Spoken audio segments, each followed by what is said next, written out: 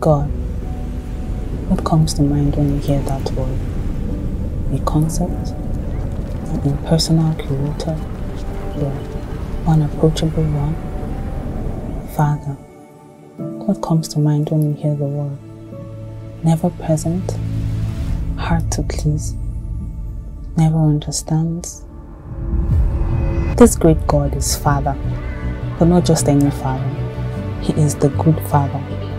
He is the sacred God who dares to deal with our sins and mistakes, the compassionate God who steps in to feel our pains and plight.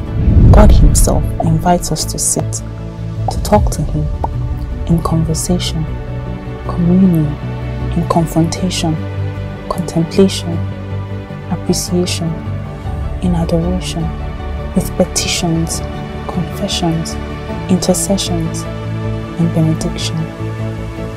So, the Father says, Come. Come and have a seat.